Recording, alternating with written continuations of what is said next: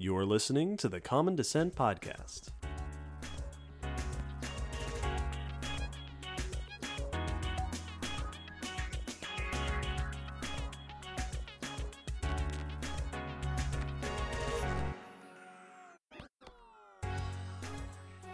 Hello, Will. Hello, David. Hello, listeners, and welcome to episode 110 of the Common Descent Podcast.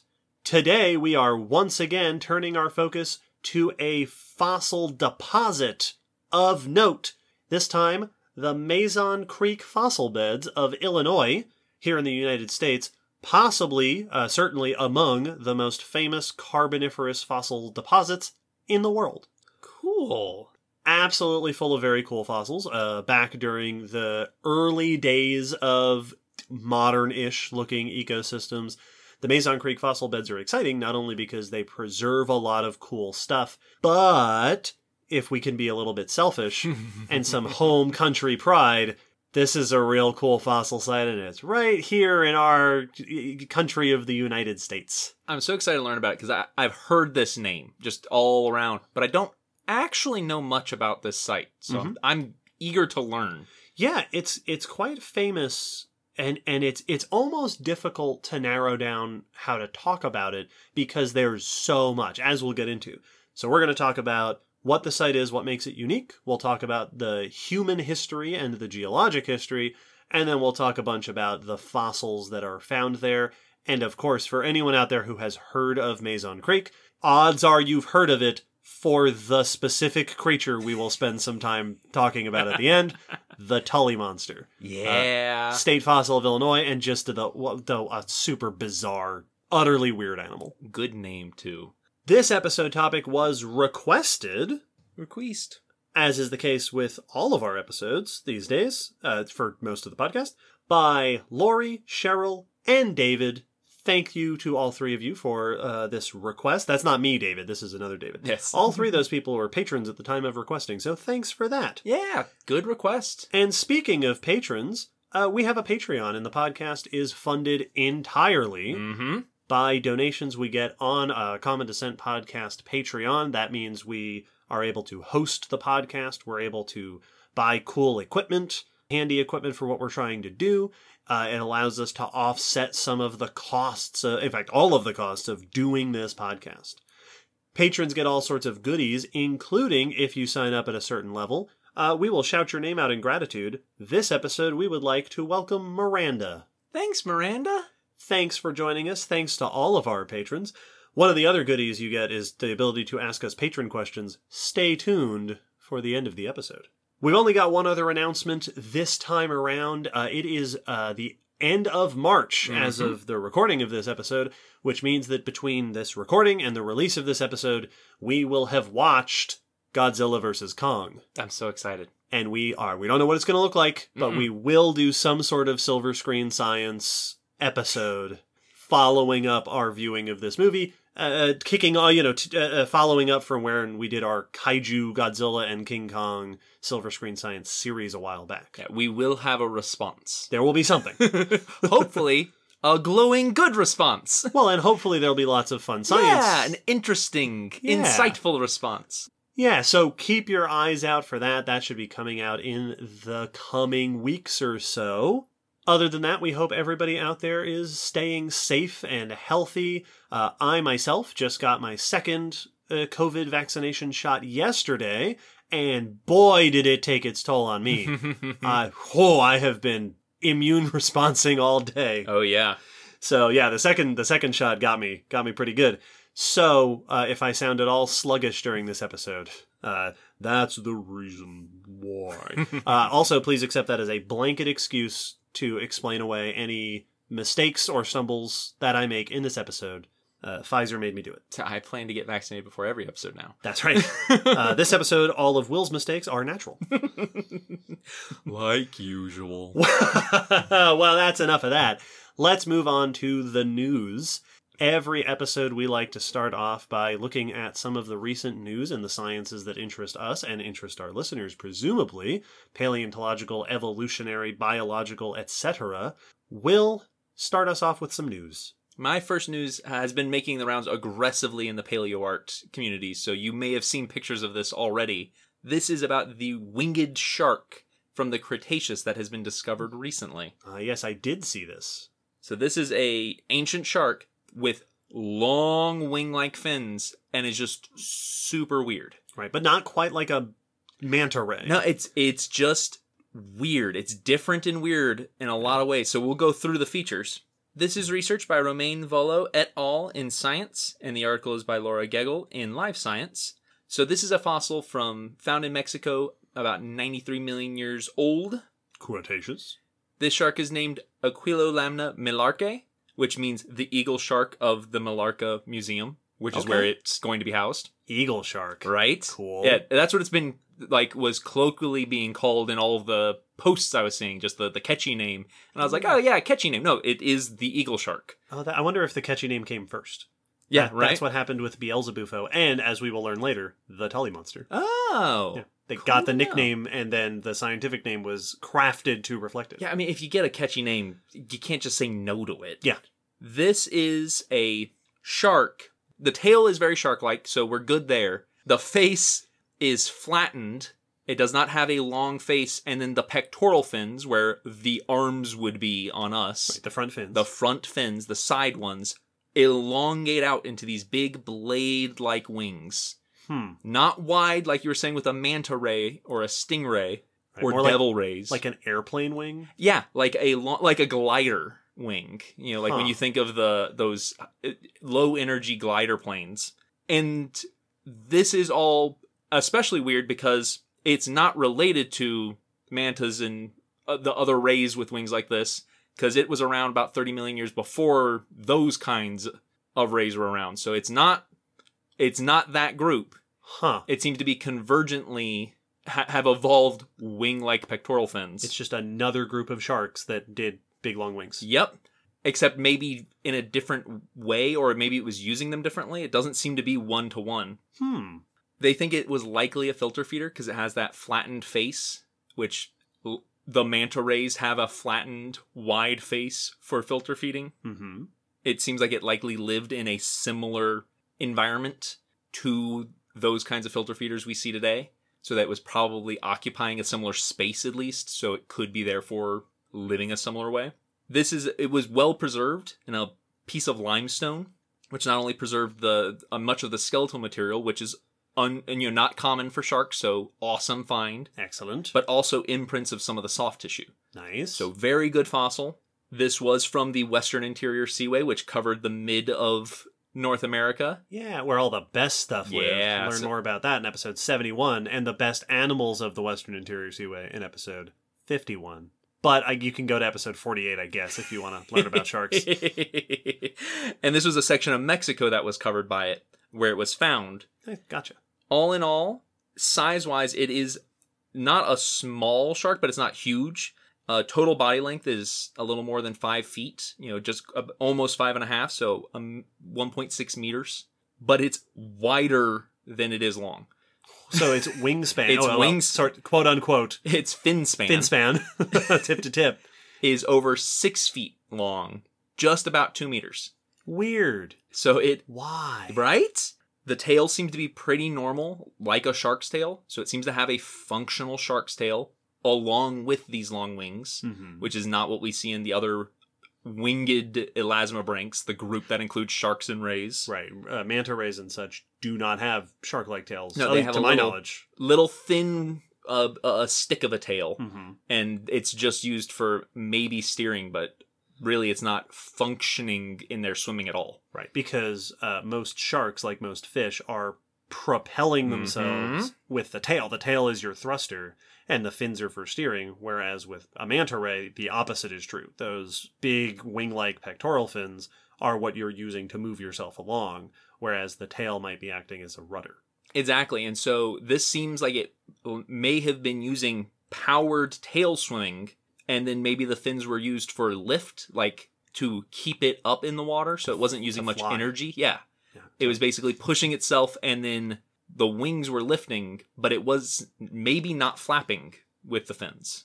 Okay, like so manta rays are. like an airplane, Mhm. where you, uh, you get the right angle of attack, and you just naturally attain achieve li- upward move.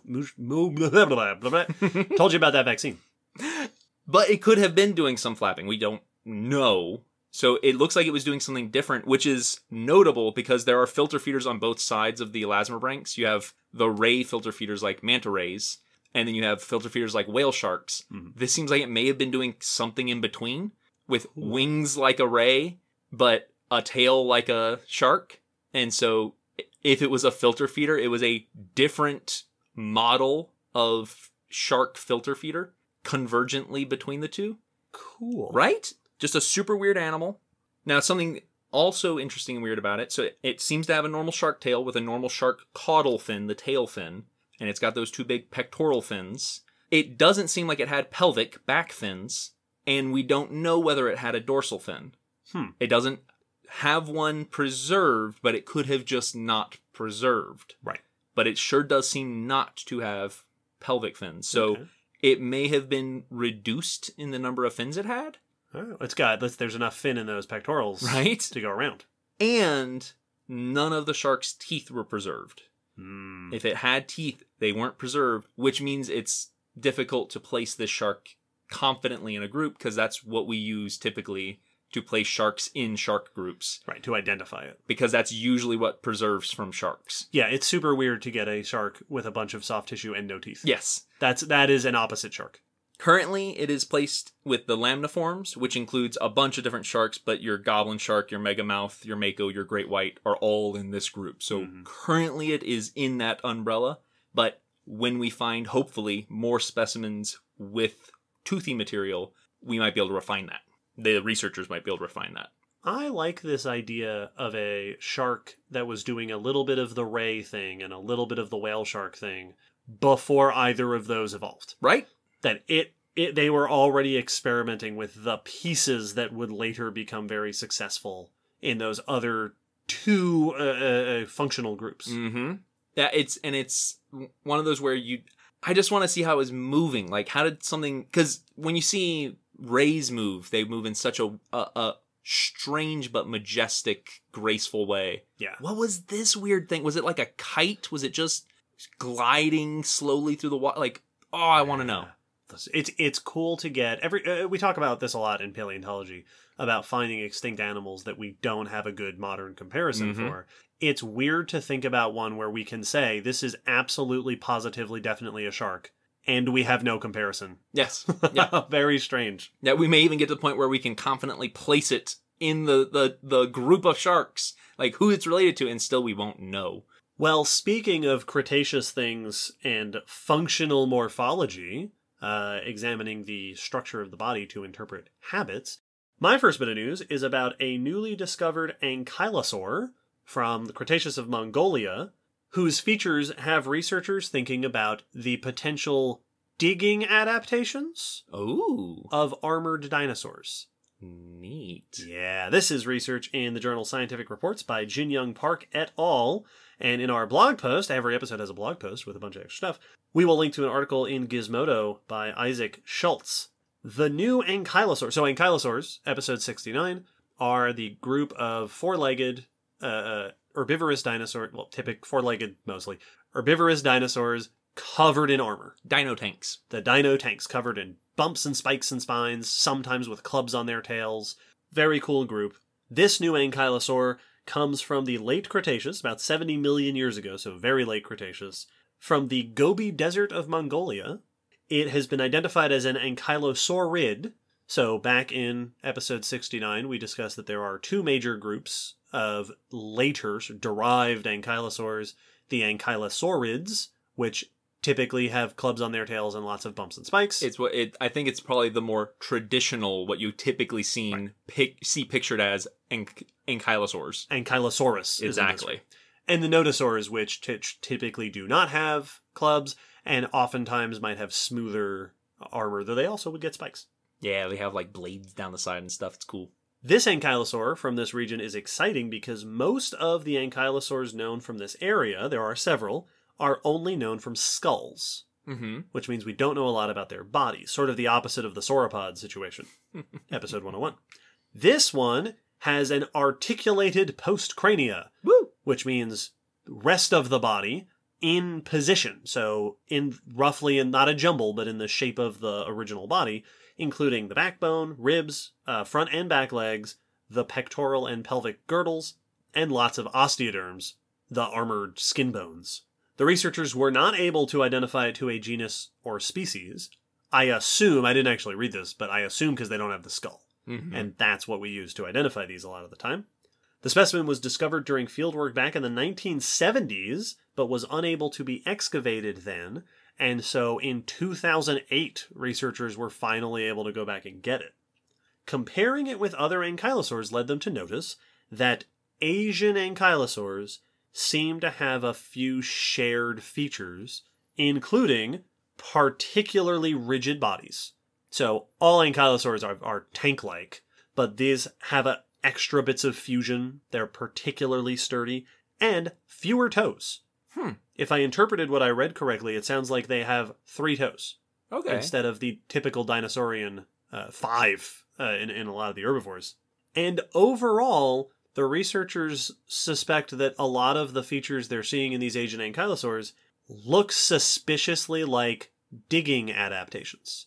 So they have flattened and fusiform bodies, so they're sort of tapered at both ends and flattened top to bottom.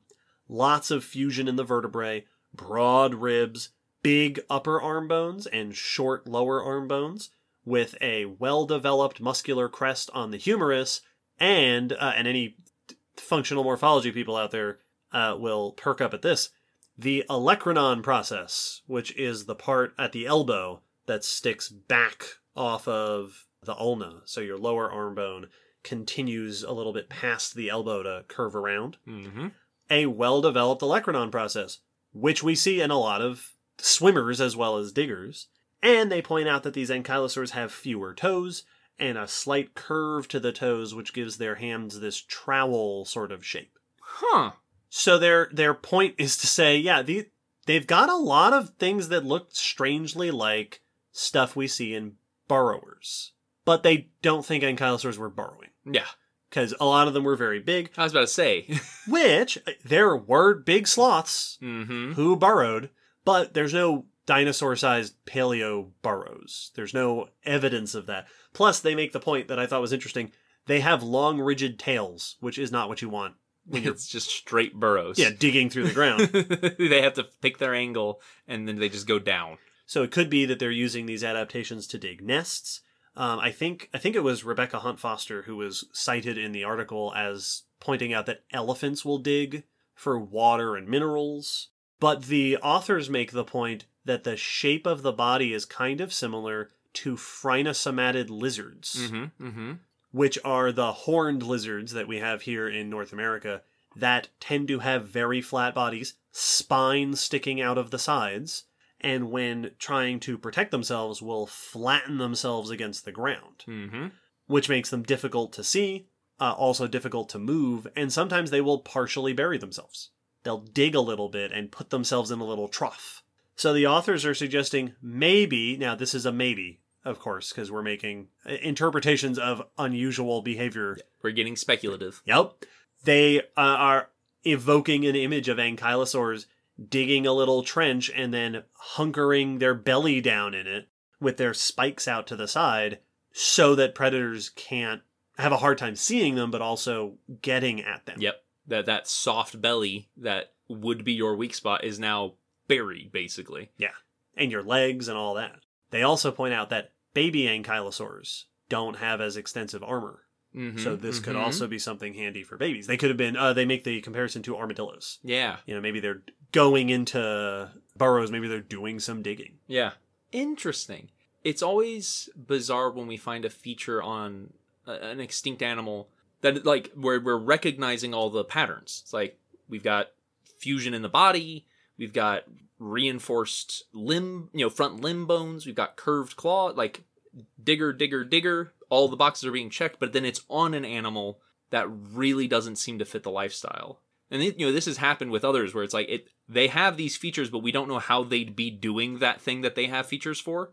And I always, I, I love when it happens because it, you know, the point that's like, yeah, well, elephants do dig. They don't dig like a mole does, Mhm. but they will mine with their tusks and stuff, and they will get down into the dirt. So it it's fun because it, it forces us to reframe the way we look at these animals. There's a, now a new behavior that they might be incorporating into their lifestyle that you wouldn't expect a giant multi-ton tank to be doing. Yeah. So it's a cool. uh, It.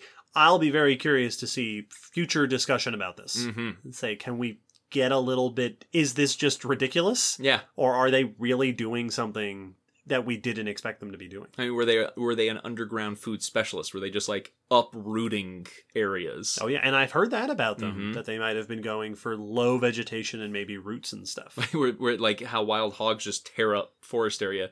Did ankylosaurs come through an area and the ground just got troweled? yeah. Ooh, I like that. Right? Very neat. Well, for my next bit of news, I'm going back to the ocean Okay, fine. to talk about potentially very old cephalopods. Ooh. These are fossils that, if they are indeed cephalopods or representing cephalopods, push the origin of the group back farther than we realized, enough to be kind of a big deal. Cool. So we talked about cephalopods back in episode 16. Mm-hmm. This is your squids, octopuses, uh, nautiluses, and ammonites, Yeah. among, you know, belemnites and all the other extinct stuff. This is research by Anne Hildenbrand et al. in the Communication Biology, and the article is by David Nield in Science Alert. So, cephalopod, cephalopoda, the group that includes all of these suction cupped armed, uh, soft bodied creatures. Yeah. Cthulhu creatures. Yeah. As we traditionally knew them, you know, from our most of our evidence showed up just shy of 500 million years ago, 490 million years ago, Okay. Late Cambrian.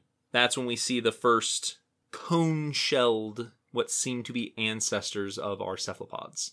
Because they started out shelled. Many fossil groups are shelled. The Nautilus today is shelled. All the rest have either lost or internalized the shell to some degree. Right. These fossils, which are also little cone esque sh- shells, date back to about 522 million years old. That's older. That's 30 million years older than we thought cephalopods existed, Yeah. which is enough to really kind of shake up our understanding of what the ocean was doing and what the ecosystem was doing around this time. hmm Because cephalopods were a big deal when they showed up in the ocean. Yes. They they very quickly became a very big deal. Yes. So these fossils were found in the Avalon Peninsula in Newfoundland, Canada. Now, these fossils are interesting because they are not definitively cephalopod. Right. As is so often the case with very early stuff. Exactly. They have some telltale features that could place them within cephalopoda. So there's an argument for them to be cephalopods, but there's still going to need to be research to confirm it. One of the things uh, that it makes it kind of ambiguous is in many of the shelled fossils for cephalopods, there's a sign of a spiracle, which is the tube that comes off of cephalopods that lets them push water out of their body, and it's how squids and cuttlefish and octopus jet Right. around the water. And so that spiracle, there's usually a sign of its presence on the shell, you know, somewhere in the features of the shell. These shells, some have it, not all do. Hmm. So it is not present on all of these new fossils, which could be that we're going far enough back that we're lacking that feature, Right. Or could be that it's because these aren't cephalopods, but other shells lacking that feature have been included in cephalopods before. So there is precedent for it to be potentially uh, still supportive. So there, th there's debate. It's not definite, but the reason this is such a big deal is because if indeed these are 520 million year old cephalopods, that's going to rewrite the entire history, our understanding of the history of cephalopods and their origin, but also invertebrates in general, because this is one of the big groups of invertebrates. And if they showed up at a different time, that may adjust where they, you know, how their origin is related to other groups' origins. hmm For instance, this would mean that cephalopods emerged before certain euarthropods, which includes insects and crustaceans. hmm So it it's rewriting how we understood what the kind of uh, set groups were at that time, and so it could really have a domino effect down the line of understanding the dynamics of this group and others that they shared the habitats with. Interesting. I wonder if, as we learn more, if we'll find out that cephalopods became a big deal earlier, Mm-hmm. or if they were very rare for a while and maybe they weren't a big impact on their ecosystem. Or was this something doing cephalopody things before or alongside the earliest true cephalopods? Yeah, and all these things are possible. Uh, Mhm. one of the things they note is that part of the reason that cephalopods could be such a big deal, information wise, for the environment is because they were one of the first organisms to start propelling themselves into the water column and floating with their shells. Okay. So they changed the face of the ocean in that way. That they were the first, one of the early groups to leave the ocean floor and start floating around in the water. And if organisms were doing that earlier than we thought, now that means that behavior showed up, which could change the whole food chain and uh, power system of the ecosystems. So now it's really just looking for more specimens or further research to verify or deny whether or not these are cephalopods. I feel like either way it's exciting. Yes, oh, absolutely. so in, either these are earlier cephalopods or things doing cephalopod like things before true cephalopods took off. Part of the Cambrian experimentation. hmm hmm Yeah, cool either way. Very cool. Well, I'm going to stick with the theme of invertebrates for my second bit of news and talk about a fly. All right. This is a fossilized fly with unusual and rare gut contents. Ooh. Yeah, this is research by Sonja Wedmann et al. in Current Biology, and we will link to an article in Science Alert by Carly Casella. Nemestrinidae is the family of what are called tangle veined flies. this is a group of flies. There are many, many, many, many groups of flies. Don't ask me to describe what tangle vein flies are special for. I don't know. They are a group of flies. Their veins are tangled. But today there are about 300 living species, which sounds like I am not a fly expert, but that sure sounds like a small group of flies. That, I mean, that sounds like uh, numbers that. that sounds like the correct realm of numbers that we deal with when we start dealing with flies. yeah, it sounds one digit too few. Yes, it does. uh, for a fly family. Uh, their larvae are apparently endoparasitoids in grasshoppers and beetles, meaning they chest burster out of them. Uh, there are tangle vein flies with long proboscises, the suckers on the nose, and short proboscises. Their fossils are known from the Jurassic to the Eocene. We have decent representation of them. 25 extinct species, mostly from the Mesozoic. So mostly older fossils. This new specimen comes from Messel, Germany, from the Eocene about 47 and a half million years ago. It is this lovely impression of a fossil fly about 11 millimeters long, just smushed between the layers, that preserves 3D structures, specifically a 3D sort of pocket in the abdomen that is full of fossilized pollen, Ooh. which the researchers suspect might be a crop. Birds have their own version of a crop. Uh, some other dinosaurs are thought to have had a similar structure. It's it's like an internal version of uh, hamster cheeks. It's Yeah, it- storing. You store food before it moves on to digestion. They were able to identify the fly as belonging to a modern genus Hirmoneura and the new species Hirmoneura messelensi. It is a short proboscis nemestrinid fly. Inside the gut, uh, this is the exciting part. Pollen in gut contents apparently is extremely rare. really? That is something that we have not found very much, uh, at least in insects. And this part's cool. According to the paper, no tangle vein flies are known to eat pollen, living or extinct. Whoa. This is potentially the first known species of this family from almost 50 million years ago known to eat pollen. They were able to identify the pollen. They, were, they identified at least four different plant families, uh, including Decodon, which is water willow, and Parthenocissus, which are vines that include, for example, Virginia creeper. The fact that there's a variety of pollen uh, led them to suggest that these flies were probably generalists, hopping from plant to plant, gobbling up some pollen, and that they're probably important pollinators. Mm-hmm. They noted that the abdomen and thorax, so the body of the fly, were covered in little hairs, uh, which in insects we call setae, that didn't have pollen on them in the fossil, but could certainly act as pollen collectors. We see those in bees and in flies today. Those little hairs will pick up pollen that then they're carrying from flower to flower. They also point out that uh, because these are short proboscis flies, they probably had to land on plants to feed from them. They couldn't hover and slurp up nectar Exactly, like a hummingbird. like a hummingbird, yep, or like a butterfly.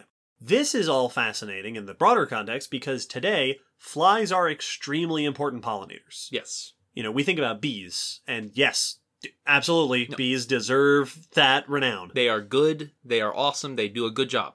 But flies, I've seen some places that suggest that flies are second to bees in their pollination capacity, and apparently there have even been some scientists who have suggested that in certain environments, particularly tropical environments, today flies might be more important pollinators than bees. Which really isn't surprising because it's flies. They're everywhere and Yeah, there's flies. billions of them.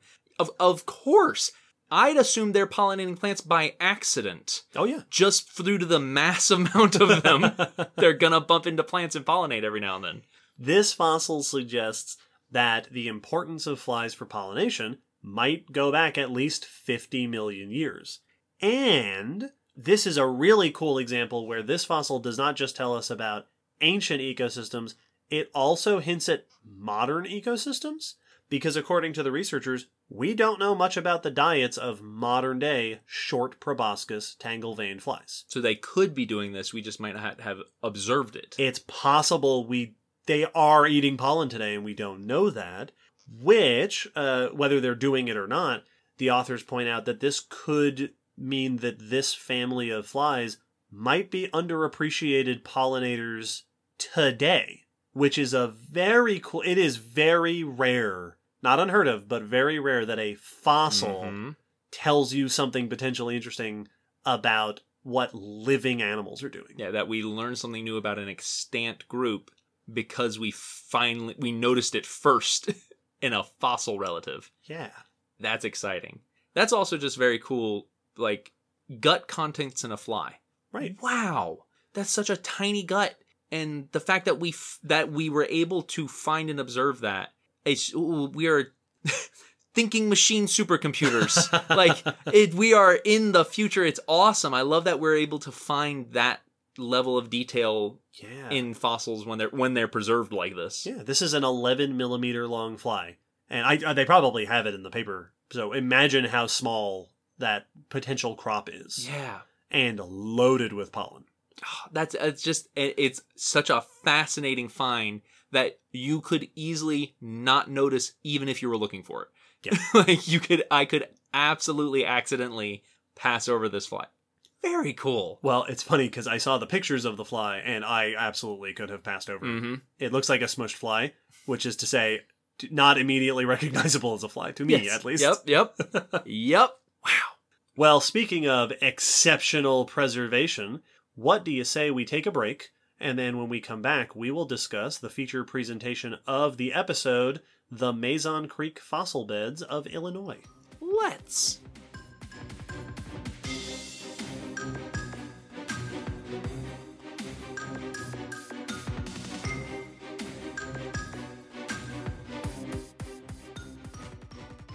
Some fossil sites are famous because of just how many fossils they have.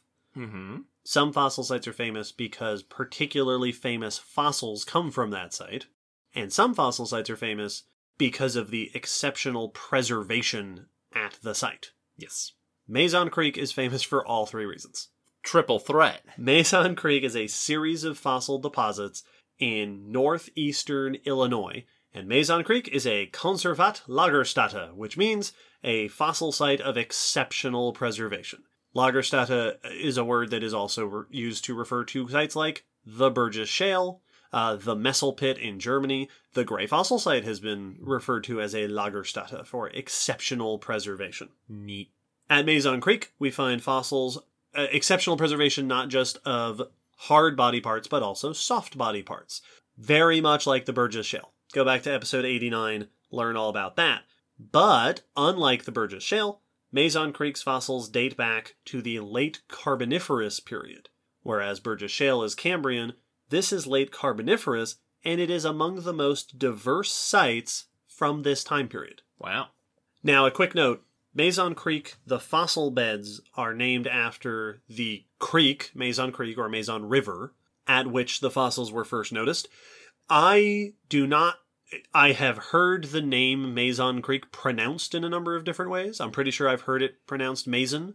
Um, I think I read one paper that suggested that the uh, the, the traditional pronunciation should be something like Mazone, Hey, that's what I was going to say jokingly.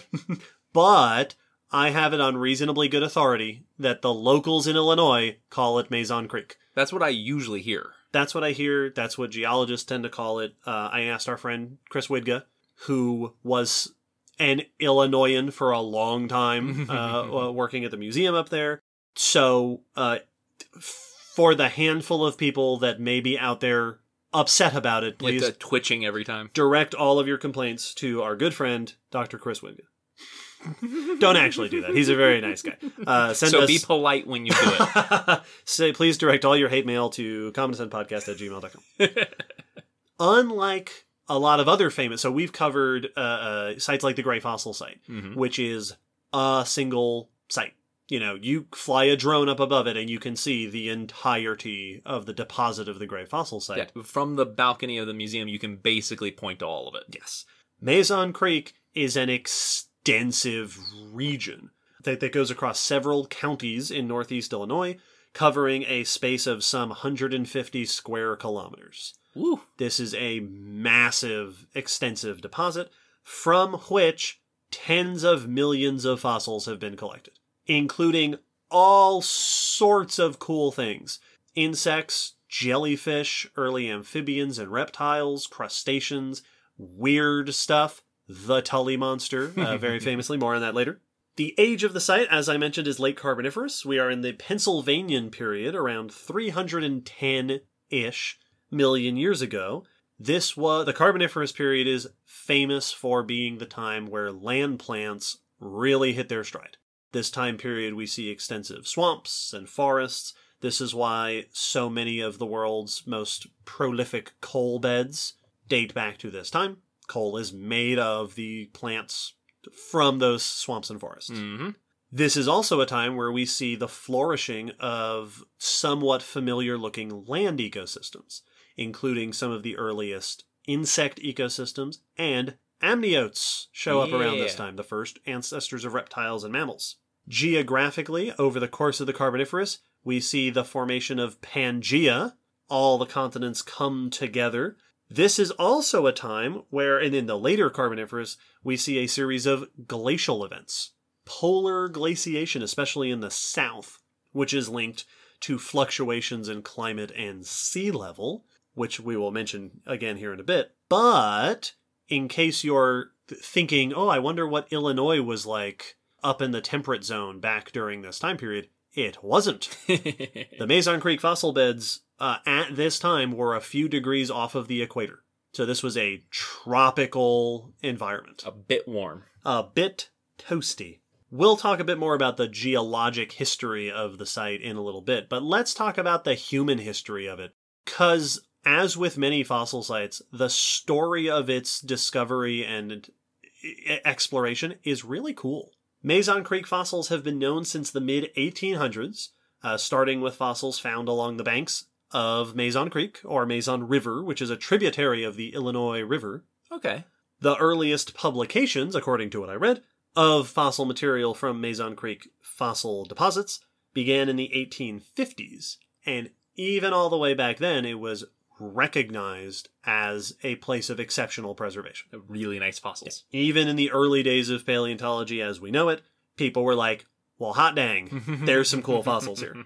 Many Lagerstätte, many very well preserved fossil sites represent limited habitats. So, like I said, the Gray Fossil Site is a pond. Yeah, it is this watering hole. That that's what it is. Mazon Creek is this extensive deposit that captures multiple communities from a range of habitats. And this is also something that it has become famous for that even back in the 1800s, paleontologists were recognizing that we are seeing multiple habitats of fossil plants and animals in this deposit. Mazon Creek fossils are found, so the actual beds are a sizable geologic deposit called the Francis Creek Shale, which is a member, so part of, the Carbondale Formation. So a deposit, so picture your geologic layers of shale, silts, and muds and stuff. And underneath it is the Colchester coal, a very extensive and very rich coal deposit Okay. that spans across multiple states. This is a, a very popular place for coal miners to go looking for coal. Well, starting in the early 1900s, miners uh, began extensive strip mining and shaft mining of the Colchester coal. Uh, one reference that I read, I believe this was uh, so my one of my big references for this episode is Clements et al. 2019, which gives a nice recent overview of the history of Mazon Creek, and I'll link that in the blog post. I believe it was that reference that said in that time across the 1900s, over 83 shaft mines and 15 strip mines were opened up across several counties, heading for the Colchester coal. Oof. But the Francis Creek Shale is on top of it. So, in order to get to the coal, they had to scoop up all this shale and dump it off to the side. Uh, yep. So they they ended up creating these big piles of what to them was overburden, but which fossil collectors quickly realized were loaded with fossils. Yeah. So these spoil piles attracted paleontologists and fossil collectors for many years. Some people reportedly gathered thousands of fossils. And to this day, there are both museum and private collections full of Mazon Creek fossils from just several counties worth of industrial grade uh, piles dirt of- outta here. Getting this dirt out of here. Yeah, exactly. wow. yeah, so big deal operations, not looking for fossils. No, just moving fossils. Yep, but had the side effect of exposing them for people to see. Apparently, most of these mines, the coal mines, were closed and backfilled towards the end of the 1900s, which means that there are relatively few places today that you can actually collect Mazon Creek fossils because Illinois is largely flat, so there's not a lot of exposures hmm uh, to go to. And though the fossils do show up on the banks of Mazon Creek, it there's water, there's vegetation. Some of that land belongs to people. Yep. So th- it's relatively limited where you can actually go to get these fossils. But lots of modern research on Mazon Creek stuff is being done using the extensive collections in museums. Okay. Notably, the Field Museum and the Royal Ontario Museum have big collections of Mazon Creek fossils. Also, at some point, I don't have it written down in front of me, but at some point, uh, the Mazon Creek fossil beds were designated a nat- national historical landmark or natural landmark Thank of goodness. the state of Illinois. So recognized for, yeah, this is really cool. This tells us a lot of cool stuff about the past.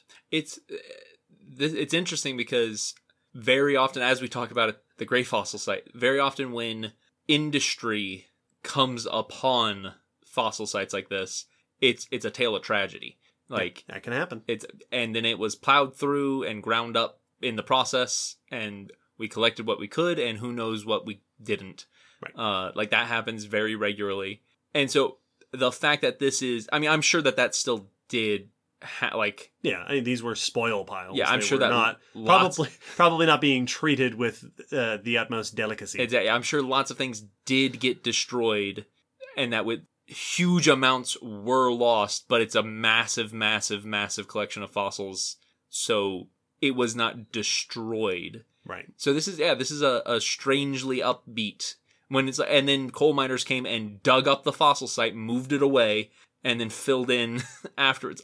That sounds like Yeah. the end of the story, Right. but it's not, and that's It's actually, actually the beginning of the story. yeah, which is what wow, Mazon Creek. Yeah, it's it's got a a fascinating human history, a Mhm. historical tale. Absolutely. Uh, also interesting is its geological tale. So I've mentioned that it is part of this big deposit. So let's zoom in on what the geology actually is here. Geologic layers are laid down in, you know, beds. The Francis Creek Shale is a vast deposit of muds and silts, including lots of fossils. In some places, this bed of shale can be up to 25 meters thick from top to bottom. This is not a small like like and like I said over oh, more than a hundred square kilometers. This is a vast geological deposit. This is a thick layer. The fossils are generally found in the lower several meters of the deposit, and underneath it, as I mentioned, is the Colchester coal. That coal is the remnant of a of swampy forest near the coastline back at that time, dominated by ancient plants called lycopods. Over time, as the climate changed and sea level rose, that coal forest was drowned Gotcha. and the area became a place where freshwater flow met a shallow inland sea. Oh. So, uh, sea level rose. There was also a local increase in precipitation at this time that created a river delta. Yeah. That's what the Francis Creek Shale is. It is a vast river delta where water was flowing off of the continent and depositing along the coast of this inland sea. Oh, well, that's fantastic. We have this awesome, likely brackish water. Mm-hmm. It, oh, I, I'm a big fan of brackish water because of working in the Tampa Bay, Yep. which is what we talked about all the time. And brackish water environments give you a cool mixture of fresh and sea life. And we will talk about that. oh, I'm excited now. Uh, oh, I'm excited. and the fact that it was almost at the equator has led some to compare it to the Amazon River Delta. Makes sense. That this was a vast delta, so where the freshwater flows met the, the sea in a tropical environment. So this has been likened to the Amazon. which really puts into perspective, you know, the the massive amounts of fossils and everything. So, well, yeah, if it, if this is an ancient Amazon river, then okay, well, duh, of course, of course, it has massive amounts of fossils because of just look at the Amazon. And that's really uh, something that I don't think we've mentioned very much on the podcast is that a geologic formation, a bed, is not just one feature. Again, the gray fossil site happens to be that. Yes, pond. That's what was here. But at this site, as you go from one end of the delta to the other, the fossils and the sediment changes mm-hmm. because you're farther inland over in this direction and you're farther coastal, you know, offshore over in this direction. you, you slowly gradient from river to sea. Exactly. Uh, this also this also means that what you're seeing in the deposit is a place where sediments are being carried to this delta. So a lot of your sediments are being washed toward the coast, as are your fossils. Oh yeah, A lot of the plants that are found here are thought to be washed down the river, depositing at this big deltaic environment. interesting. And that's not even the most notable thing about the fossils here. Oh well, tell me. Very famously, the fossils of Mazon Creek are typically found in nodules, these Ah. hard concretions of rock. So if you've ever seen videos of someone finding uh, like a ball of rock and hitting it with a hammer and it cracks open and there's like a lovely trilobite or fern or something inside, that's the kind of thing we're talking about. These are siderite nodules, uh, iron carbonate, that typically form around fossils. Hmm. They are often spherical or uh, uh, oblate, Mm-hmm. uh, sometimes disc shaped. And a classic way to find fossils in there is to smash it with a hammer. Yeah, so if, if you've ever seen that and you're like, how did they know that was in there? It's because this is a known phenomena. Yes. Like, if you're in this place, in these kinds of deposits, and you find one of these nodules, odds are there's decent chance something might be inside it. yeah. And if you smash enough of them, And then they just show the video of the one when there's a Yes. it's it's not that I sense there's a fossil in here. No, I'm we kept this recording. And in fact, there is a episode of Brain Scoop on YouTube with Emily Graslie about the Mazon Creek fossils, and she goes outside with one of the museum uh, staff members and smashes some of these nodules. And I, if I remember right, doesn't get anything. Yeah.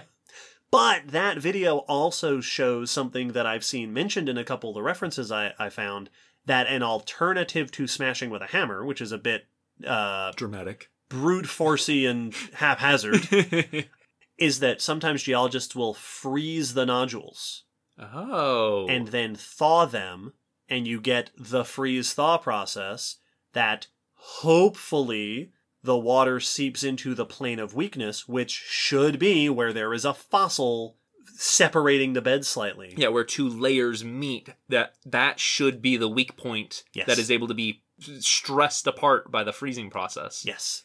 That's awesome. So sometimes they'll freeze them. Apparently, sometimes for years to, to give the ice a chance to work its way in there, and then take it out and smash it with a hammer and Just- hope that it breaks open along that plane. Just a, a smaller, more delicate hammer. Dink. yeah, yeah, it's it's the SpongeBob and the quartz. Dink. Yes, exactly. That's awesome. Yeah, it's really. I had not heard of that technique before. I want to freeze some nodules. Let's go. Let's go up to Illinois. We'll have Chris take us up there. Yeah. so, so none of you send complaints to him now. Don't complain to Chris. No, yeah, no, no. we need him to take us. Tell him how cool he is. the exquisite soft tissue preservation of the Mazon Creek fossils has been attributed probably to uh, rapid burial, which makes sense if you're in a deltaic environment. There's going to be lots of sediment flowing over there very often, but also possibly the chemistry of the surroundings helped to preserve them. The soft tissue that is preserved there includes organs very often. We'll get leaves, we'll get eyes, you can sometimes get entire soft bodied animals. In fact, right, rather commonly, like worms and jellyfish, which is very unusual. Oftentimes, these are flat, basically stains in the, the beds, but sometimes you can get 3D structures. So, sort of a, a small, but 3D, including not only parts of animals, but like fruiting bodies of plants Ooh. you can get preserved in some semblance of their original structure. So this wonderful 3D uh, soft tissue preservation. Typically, the fossils are preserved along the bedding plane, which is to say, the uh, uh, sediment was being laid down layer by layer, consecutive layers. and oftentimes the fossils are parallel with those layers, suggesting they laid down at the bottom and got buried. But they are not always like that. Sometimes they are against the bedding plane, which might suggest that they were smothered Yeah. in like a particularly torrential pour of sediment. Interesting. One thing that's quite interesting I found about these concretions, these nodules they're found in, is that we apparently don't fully understand how they form. Hmm. So uh, they are iron carbonate, and I've seen it pointed out that land sediments could be rich in iron, carrying iron down to these waters, and that if the waters are low in sulfate, then instead of reacting to form pyrite, which you often will get, iron might react to form iron carbonate that can form these hard concretions. They are most common towards the shore, Mm-hmm. not as common in the offshore section of these beds, which suggests that this was a feature of the shore, right, closer to the uh, input, closer to the freshwater source. Yeah, things coming from the land toward this area Yes. uh, instead of stuff from the ocean yes. causing this.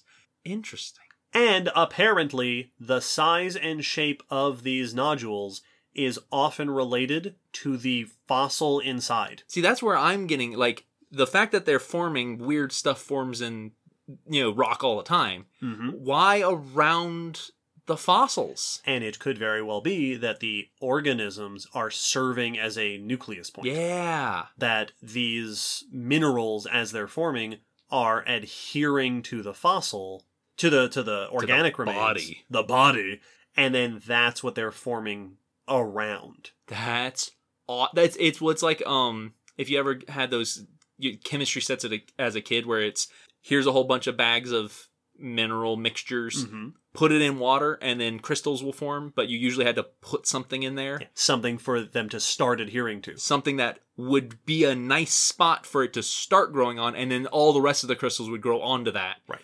These the a, a dead body could be acting as that here. Yeah. Which makes perfect sense and also awesome. How cool is that? A naturally formed coffin. It's just it's something dies and then just minerals seek it out yeah just and encase it. This is also apparently how raindrops are thought to form. Oh yeah. That like a dust particle or Mhm. something in the air might be a place where water vapor condenses and then that gives you a greater area for more and more water vapor to condense and you eventually get a raindrop I have heard it's it, this is the concept of the Mentos and the soda is that a rough, not the smooth Mentos, has so many nucleation sites that bubbles just form so rapidly. Basically, all the carbonation is released at once. There's a lot of surface area Mhm. for your reaction to take place. And when you have a lumpy, irregular body, that's a real good thing for stuff to grow on and get a hold on. yeah.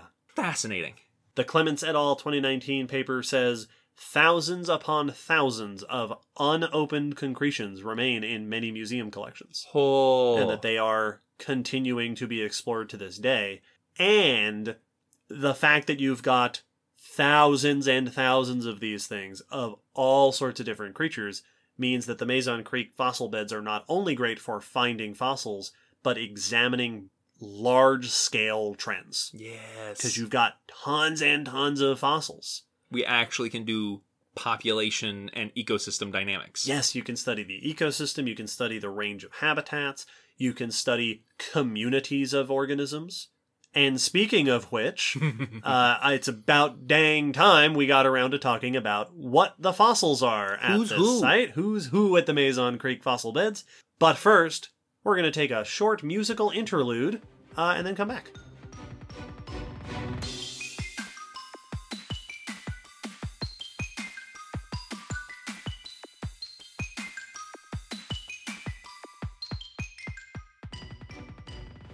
Here is an incomplete list of types of animal fossils that have been found in the Mazon Creek fossil beds jellyfish, anemones, corals, ribbon worms, nematodes, velvet worms, Ooh. horseshoe crabs, sea spiders, millipedes, centipedes, insects, crustaceans, barnacles, slugs, and snails, bivalves, cephalopods, uh, octopus squid uh, group, brachiopods, the things that aren't bivalves, sea cucumbers, crinoids, jawless fish, ray-finned fish, lobe-finned fish, sharks, amphibians, and reptiles.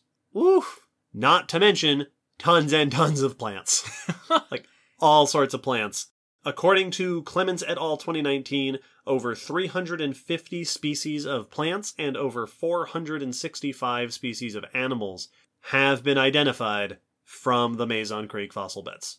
Wow. Now, uh, you- we say that, that's those are big numbers, but also not really surprising. We've been excavating this place for going on two centuries now, and it's huge. Yeah, that is something that's notable that, you know, when you think of a fossil site, you tend to think of a few key things, but also, as you're saying, fossil sites often are a site. Right. Yeah. This area, you know, this, this fairly restricted stretch we know has fossils. Hmm. We can fence it in. Here's a stretch of a state. Right. You can't fence in six counties in Illinois. Exactly. You you would some people would be very annoyed if you tried. And we've been there for a long time and a ton of it was exposed due to its history. yes. So we've had an unusual amount of access to this fossil site. It's like La Brea. Yes. Yeah, there, there's been tons of work over tons of time. The plants of the site, so whereas underneath these beds, the Colchester coal is full of lycopsids, which are ancient tree like plants, Mazon Creek's deposits are dominated by things like ferns, including seed ferns. Uh, there's horsetails. There's all sorts of slightly more modern looking groups of plants. Those classic carboniferous plants. Yeah, tons of different animal species, some of which are unique to the Mazon Creek beds, like the Tully monster, and some of which are not necessarily unique, but the best representatives of their group. Uh, so, like certain lampreys Mm-hmm. are known from here, and they're this, this is the place to go for those groups of animals. Traditionally, uh, the Mazon Creek fossils have been considered in two separate faunas, two separate biotas. The Braidwood fauna, or Braidwood biota, which is mostly freshwater organisms and things from the land. So things washed in from the land. Uh, this includes lots and lots of plants, ferns, horsetails, etc. Uh, animals, including insects, myriapods, which are your centipedes and millipedes, occasional like reptiles and stuff. Most of which are probably those animals and plants being washed in, possibly sampling the entire drainage basin. Yeah, like, like- who knows how far it Yeah, these Washed. might not all be locals. these could be coming a quite a distance. In with these braidwood uh, uh, biotas are also freshwater things like bivalves, so that's your clams and oysters and such, and amphibians. And as you would imagine, this biota is found more in the shoreward direction. The other traditional biota is the Essex biota, or Essex fauna, which is largely marine animals. Jellyfish, crustaceans, fishes, cephalopods, aquatic worms, uh, stuff like that, and as you might imagine, is typically found farther out, uh, oceanward in the geography of the site. How cool is it to just be able to get both of those habitats in uh, one area? Right. That's that's super cool. Now, I should point out that the Clements et al. paper argues that this this distinction, the Braidwood versus Essex, is not necessarily the case. Uh, I mention it because I saw it brought up quite a bit. It looks Mhm, like this is how mhm. people have talked about it for a while. But Clements et al. argue that there's not really a clear distinction between freshwater and marine, that many of the animals we see in these uh, aquatic habitats probably had uh, t- could tolerate various salinity, so they could have lived in areas with high to low salt content. So their suggestion is more likely what we're seeing is a whole brackish marine area Yes.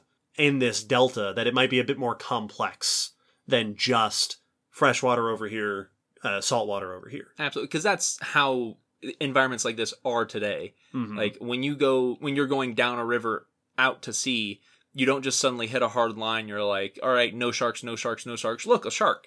Right. It, it sharks can absolutely come up a river. They don't go very far because eventually they would die. Mhm. But yeah, they can come into a river. The way I explained it to people all the time when they were like, "Can alligators go out in the ocean?" Like, yeah, we can. Mhm. If you stay out there, eventually you will die Right. because there's too much salt. It will kill you because you'll be drinking the wrong water. Yes. But yeah, you can go swimming in the ocean. You can even swallow some of it as long as you don't swallow a lot of it. Yep. Animals absolutely could be going back and forth here. And so, eh, which is even cooler to me. It's just this just Yeah, this- mixture.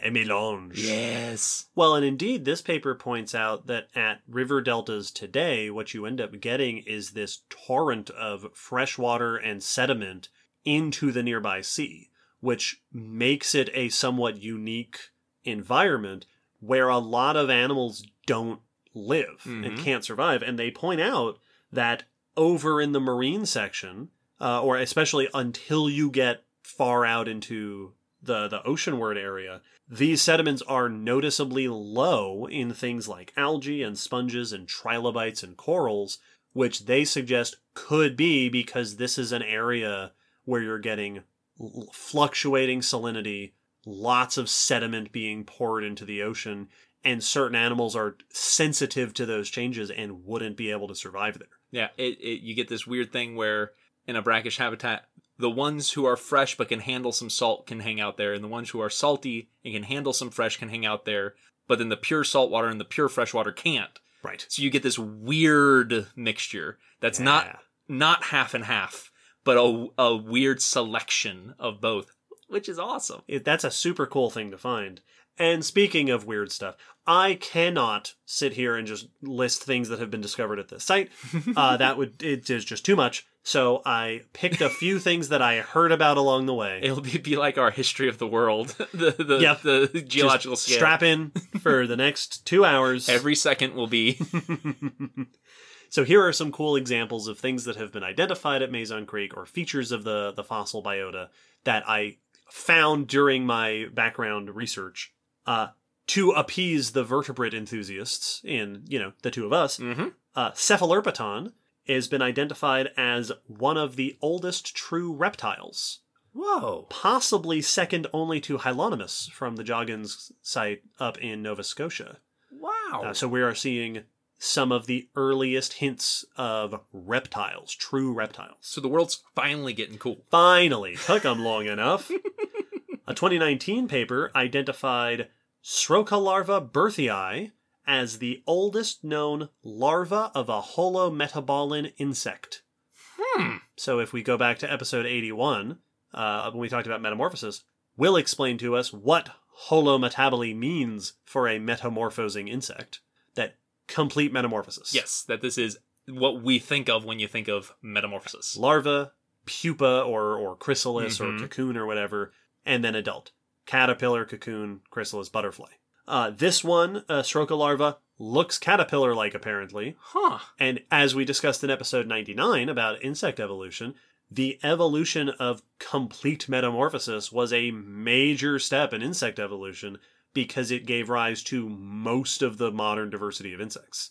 So here at Mazon Creek, we are seeing hints of the earliest complete metamorphosing insects. That's a big deal. It's pretty cool. Mazon Creek also apparently, uh, this I think was also in the Clements paper, includes some of the oldest fossil evidence of possible crypsis. Hmm. There are a few animals, uh, particularly arthropods, that have features that look very similar to the plants that are found there. that we might be seeing some of the oldest evidence of bugs evolving to look like plants to hide. Which makes complete sense. Like this is this is the Carboniferous is famous for being when we see the first kind of what we would recognize as land ecosystems with forests and insects and arthropods and Mhm. predators predators milling around. So yeah, of course there'd be things having to blend in and hide. Yeah. And it makes sense that they'd be looking like the plants, but wow. Yeah. Apparently, I didn't get its name, but there is at least uh, one cockroach like species back then whose wings look like ferns. awesome. Another interesting thing, uh, moving into the ocean, is that there are apparently lots of juvenile fish and sharks here, which has led to the suggestion that this may have been acting as a nursery, hmm that you might get lots of little ones. Very common in brackish ecosystems. Yep. And that also makes this a great place to study ontogeny. Yeah. Growth series from young to adult. We have uh, fossils of young fish to old fish. And this is something I know you will appreciate. Apparently, the Mazon Creek fossil beds hosts the most diverse record of chondrichthyan egg cases. wow. So sharks sharks do not lay eggs as we conceive of them uh, Yeah. for like amphibians and reptiles. Uh, if you'd like to explain egg cases. yeah, sharks lay these pouches. It's it is an egg in that it has an outer protective layer and then inside is the baby with its yolk.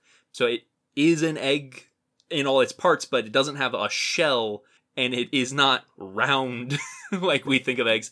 They have all sorts of weird shapes and are often made to be able to be attached to things. Right, to rocks and stuff. tassels and webbing that they stick to stuff and then it's this leathery it i mean leathery is the only way to describe Yep. the texture it is leathery pouch when it dries it's like dried cured leather and the baby develops in here this is what they call mermaids purses Yes. So not only do we get soft tissue fossils of organisms, but eggs, egg cases. and now i want to see just a collection I have a reference for that. I'll link it in the blog post. yay It's uh I don't remember where this was from, but it's a PDF document that's just I think 3 pages or so of pictures of these egg cases. According to I forget which reference this was out of, uh, but one of my references said that there are 9 types of shark family egg cases described from Mazon Creek, wow which is very cool. Uh, yes so sharks were just having a field day here This is where the shark babies hung out. that's that's just fantastic Do do do do do do. don't How dare you? How dare you? Uh, Pfizer made me do it. But speaking of unusual, strange, notable fossil finds from Mazon Creek, we would be absolutely remiss if we did not devote a section of this episode to talk about the Tully monster. Mr. Tully. The Tully monster is almost certainly the most famous creature of the Mazon Creek fossil beds. It is one of the most famous fossil animals from North America, especially if you kick out the dinosaurs. Oh yeah, yeah, yeah. Like, very famous animal, and indeed one of the most controversial. A couple of papers that I read uh, made this point, which I think is phenomenal. Many similar sites. So when we, we're looking at this type of site with abundant soft tissue preservation, we think of the Burgess Shale, we think of the Chengjiang fauna over in China, we might think of some of those Ediacaran sites. Those other sites, uh, Ediacaran episode 31, Burgess Shale episode 89, we are used to them being full of weird things. yes. Mazon Creek is different because the flora and fauna of Mazon Creek is largely recognizable stuff. Worms, jellyfish, uh, cephalopods, it's stuff that we're familiar with. Yeah, we're recent enough now that really recognizable groups have established. The glaring exception to this is the Tully monster. That's actually what I was gonna say. Is I constantly forget how young the Tully monster is because I keep wanting to put it back in the Cambrian and Yeah, because it looks like it should come from the Cambrian. It should be there where all the other aliens This, are. it is 250 million years too late. That's dude, just weird. Let me describe the Tully monster for those unfamiliar. Honestly, if you have a phone or a computer, Google the Tully monster, look it up. Do yourself a favor. It has a long, slender body, uh, sort of torpedo shaped, Mm-hmm. which apparently ranges from 6 to 25 centimeters long, so a couple inches to, you know, a f- almost a foot, with bands along the, the, the length of it. At the back end of the body is a flat tail, like flat, uh, almost kind of dolphin tail Yeah. like sort of uh, flat fin-like structures uh, out to the sides, uh, which are apparently asymmetrical, of course they are. and is typically reconstructed with sideways facing stalks that have eyes at the end of them, roughly in the front portion of the body. So two eyes, one stalk on each side, sticking straight out to the sides, and at the front of its body, where you would intuit a face, it has a long proboscis with a little claw at the end of it, Yep. with little tiny teeth, quote unquote teeth on it, a little little uh, jaws of life Yeah. crane proboscis. It is a soft-bodied animal. There is no shell. There is no there's no bones in there. It likely it's interpreted as a swimmer. Uh, possibly, I've seen it uh, suggested maybe swimming just above the sea floor like some squid do Yeah. Just just grabbing hovering. stuff off the sea floor. If this sounds weird, you are right. Correct. Paleontologists have been arguing for decades about what phylum the Tully monster belongs to. Not what family of whatever, not even what class. What phylum does this belong to? what kind of animal We is do- it? It's an animal. That is yep. That's what we got. Let's talk more about that here in a second, but first, a little bit of background on the Tully monster. It was first discovered, uh, the first fossils were noted in 1955 by a local collector, Francis Tully of Lockport, Illinois, and it became known before it was scientifically described as Mr. Tully's monster. yes, and so Tully monster is the monster, not Mr. Tully. Like Right, that's, a common mistake. It's Tully's monster. That's right. Or is he? the Tully Monster.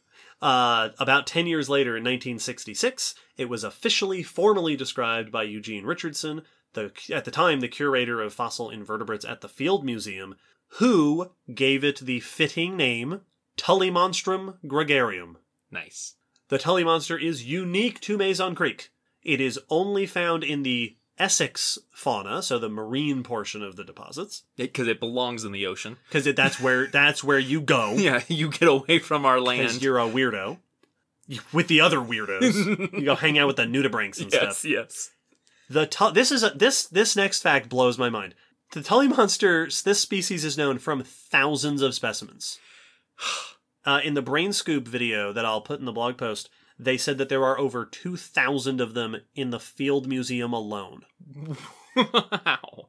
which it really puts into perspective how weird it is. Because oftentimes when we have a fossil we can't, we have trouble identifying. It's because we've got half of one specimen Yeah, we have such a limited supply. and we just don't have enough to make a clear ID. No, no, we've got more of these than most other fossil species by far, and we just can't do it. It's- it's- we've looked at it from every angle. Literally, yeah, no, no, from the side, from the top, Yep, from the bottom, Every, twisted. and it's just gotten worse. Uh, often they are fossilized with signs of the organs, so internal structures, the eyes are there, things like that. And eventually, uh, this was in the last few decades, I think, the Tully monster was named the Illinois state fossil. Yay! Which, that's pretty cool, Illinois. Yes. But not, I, I listen. I'm not gonna, I'm not gonna poo-poo any fossils or any states. But some state fossils are definitively cooler than other state fossils. Illinois, that that this is a pretty cool one. That's a good. There's something so so satisfying to the the ironic part of my brain that this is probably one of the better represented fossil organisms. Like, you know, Mhm. like on just the list of things we found, this is up there. It's not only numerous, we have it in different sizes. Yep. We also have it, gregarium. gr- yeah, That the, the species epithet Tullymonstrum gregarium because there's lots of them. because there are tons. Not only that, we also have soft tissue. Like we have, we know their internal structure, Yeah. which is something we don't know for most things we found. We understand these fossil organisms better than the vast majority of things we find in the fossil record. Yep. And it just happens to be one of the weirder, Yep. bizarre creatures. So it doesn't help. Over the years, there have been many attempts to identify where the Tully monster falls. It, one reference that I read said that over the years, it has been uh, linked to practically every bi- bilaterian phylum. um, annelids, which are your segmented worms, nematodes, all sorts of worms, in fact. Uh, one of the probably, it sounds like the more popular suggestion is mollusks Okay. that this is related to uh, uh, mollusks include your bivalves they include your gastropods which I, I would buy sea slugs Yep, yep, yep. cephalopods which Mhm. uh, sure i guess it's just it's just a squid minus everything but the beak. and then a and then a Just put it right on out an, there. on an arm Yep. uh, but it's been really difficult the reason it's difficult to identify is because no the uh, paleontologists haven't agreed on a set of definitive traits to link it with anything else there are possible links but there's nothing in there that we've been able to look at and go only mollusks have this feature thus it must be that Yes. only nematodes have this feature thus it must be that A truly diagnostic feature.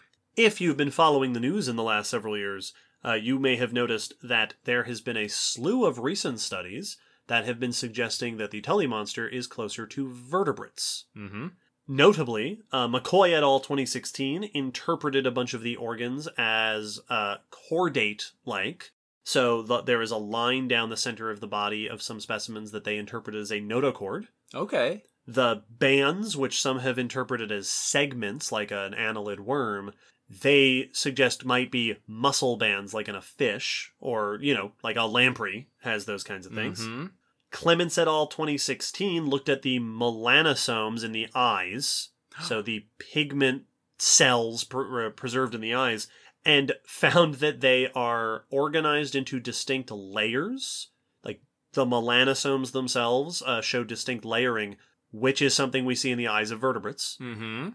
And McCoy et al. 2020 did chemical analysis of the tissues of the Tully monster and found evidence of the breakdown products, so what's left of these chemicals after fossilization, of proteins, which is notable because invertebrate soft tissue is largely chitinous, made of chitin's long chain sugars, whereas vertebrate proteins are largely made of whereas vertebrate soft tissues are t- largely made of proteins, Mhm. proteinaceous, and that the Tully monster looks to be proteinaceous, possibly linking it to vertebrates. Now, I can't just say that and pretend that everyone's on board with that. Yeah, all right. Case closed. Case closed. Did it. You Uh, heard it here. There have been challenges to this. There have been other researchers who have pointed out that, for example, trying to identify the organs is real tricky, that there could be different interpretations. Um, there was a study, I think in 2017, that pointed out that cephalopods also have a similar eye structure, Yeah, they do. because of course they do, Because their eyes and our eyes are basically the same kind of eye. even down to those that layering with the the pigments, so that that could be a link to mollusks. In fact, you thought you were supporting this argument, but in fact. It was cephalopods all along. Nah ha ha. Do do do do do do do and uh, researchers have also pointed out that there are features of the Tully monster body that really don't seem to be anything like fish, uh, early fish or chordates or vertebrates.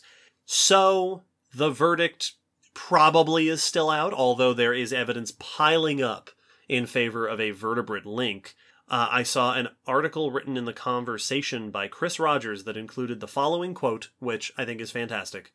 The body plan of the Tully monster is so unusual in its entirety that it will greatly expand the diversity of whatever group it ultimately belongs to, changing the way we think about that group of animals. That's that make that's so true. Yeah, whatever this ends up falling into, it's it's weird. Yeah, it, that that uh, whoever we end up classifying this with immediately increases the weirdness of that group Yes. by one Tully's worth. Yeah, this is either a super weird mollusk or a super weird vertebrate or a super weird something else. I think that's the best way to put into perspective of what we're dealing with here is this isn't just like a weird animal. It is weird for every group. No matter no matter who we could group it with, it is almost equally weird to group it there. Yeah. Which is and and it was doing well because once again as we're saying often when we have a, a, a mystery, you know, organism to where it's I we don't know what you were doing because you're just so unusual and we just don't have enough to truly understand you. But the other option is often you're super weird, but also there's like this one example of like, you know, you were rare or you weren't common, you know, and and and this group got weird and they were weird for a little bit and then we don't have that weird group anymore. But no, this was like super successful all over the place. So would have been probably would have been a common thing if you were fishing back during this time. Yeah. You'd be catching tully monsters all the time. weird. I love it so much. So, the Mazon Creek fossil beds utterly full of fascinating fossils, including things like the Tully monster, which we straight up don't understand. And the exciting thing about these beds is that there is so much already collected and so much still potentially to be collected that we will be learning about this place for an extremely long time. There is tons more for us to learn in the future. I, I I love that we've discussed before about how there are so many discoveries waiting to be made already in the collections of museums. You know, decades and decades old discoveries that just have not been looked at closely enough or looked at at all, really, since they were dug up. And I like that this is a site where that is almost more the situation than anything else. That there's so much we can still discover, and it's already indoors, Yes, tons to work with. Oh, which is exciting. Now, before we get too far off the subject of the Tully monster, as I mentioned at the start of the episode, we take patron questions from Mhm. patrons at a certain level, and today we have a question regarding the Tully monster. Perfect.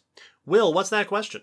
Our question this episode is from Lydia, who said that episode 89 got them wondering Does there seem to be any connection between Opabinia and the Tully monster, or do they just both seem to have evolved a similar unique body plan?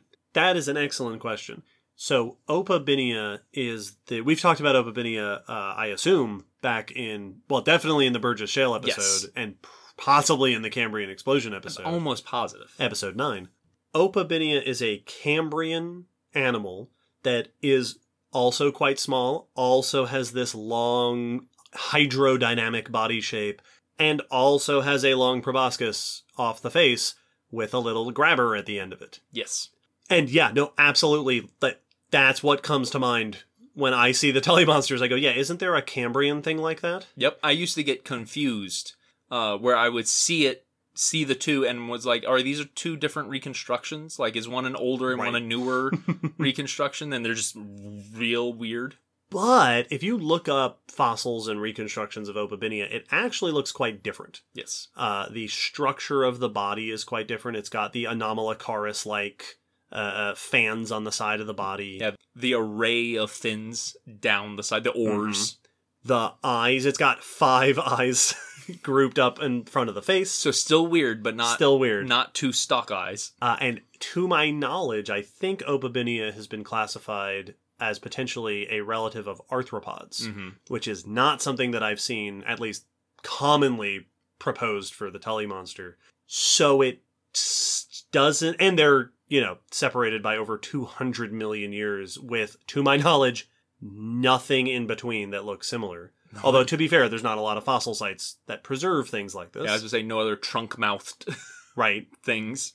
So, as far as I know, it doesn't seem like there's an overt relationship there.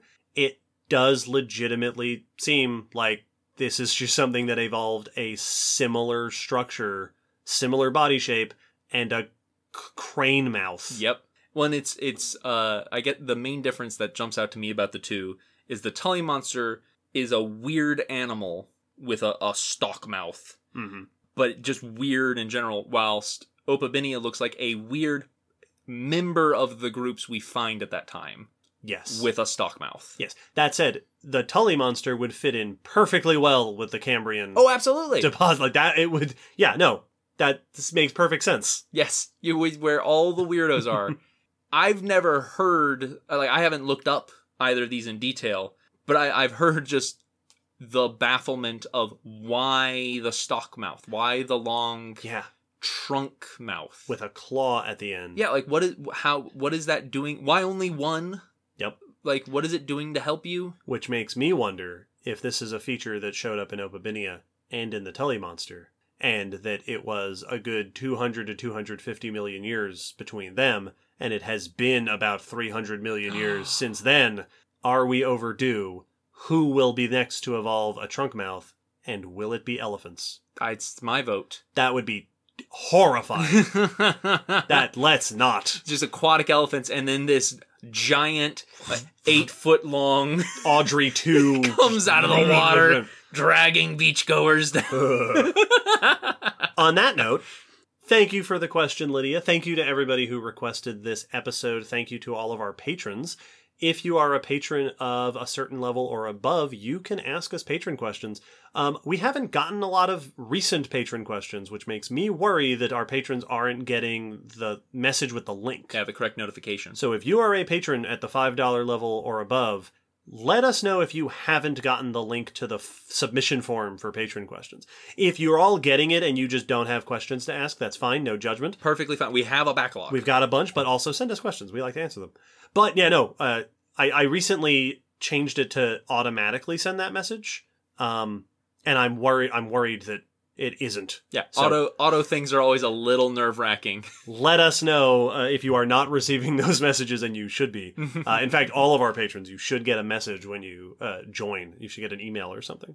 Well all that being said this is a fascinating fossil site uh, full of fascinating animals. It was a lot of fun to dive into because i w- did not know very much about Mazon Creek before this. No, I I had always heard about it and that it was this extremely noteworthy fossil deposit, but I didn't really know a lot of what was there or what kind of deposit. Like I didn't know whether it was terrestrial or aquatic or anything. Mhm. Like didn't really know that stuff. So this has been fun learning about it. And man, what a weird place what an amazing deposit! That's so it's cool. the burgess shale of the carboniferous yes, I love it. It is very cool.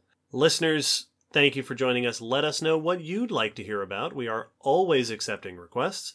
Go check out the blog post that we put up after each episode, which will have pictures. It'll have links to a bunch of the things that I mentioned uh, during the episode that you can go check out for more information if you want to dive deeper. We've got uh, some sort of silver screen science coming up uh, with Godzilla vs. Kong coming out soon. And there will be more Silver Screen Science later in the year. So if you like the bonus stuff, keep your eyes out. Thanks again to all of our patrons who get all sorts of cool goodies. If you are not a patron, you might consider becoming one. Um, feel free to send us comments, questions, uh, requests. Leave us reviews on iTunes. Those are always nice to have. Share us with your friends. We got lots of internet chatter recently, which has been really cool. Any way you can find to support the podcast, we greatly appreciate. We release episodes every fortnight, pandemic or no. So join us in a couple of weeks for the next episode, 111. So, Yeah. you know, make a wish. One one one one. Yeah. That, yep, yep, episode 1111. Coming to you. Wait, you get a roll of saying ones, and it's hard to stop. Make a wish.